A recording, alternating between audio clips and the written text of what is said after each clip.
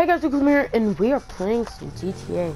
Well, if you guys didn't know, i have been live streaming a lot lately, and I wanted to give y'all something cool. Uh, so I was just scrolling around, trying to leave some footage so I can freaking play, uh, so I can do like recording and edit all that.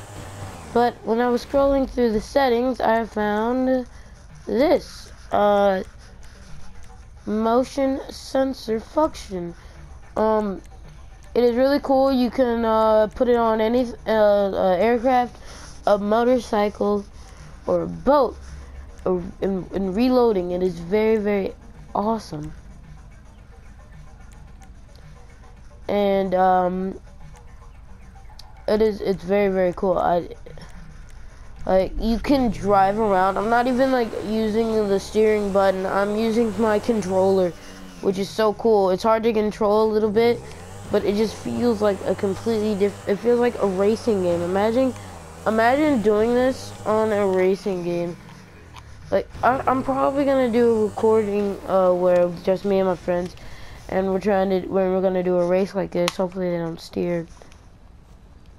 But look at this. Also, when you shoot, shake it, bam, reload. Shake it, bam, reload. That would be great. I would actually like that on the reload instead of pressing square.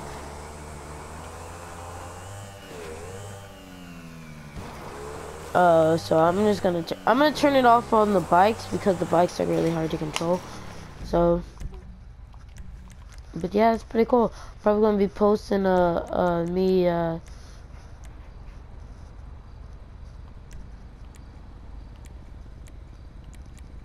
I'm probably gonna be, let me turn off the bike. But, I just wanted to show you guys quick little, cool little thing that's in GTA now. Alright, and I will see you guys later.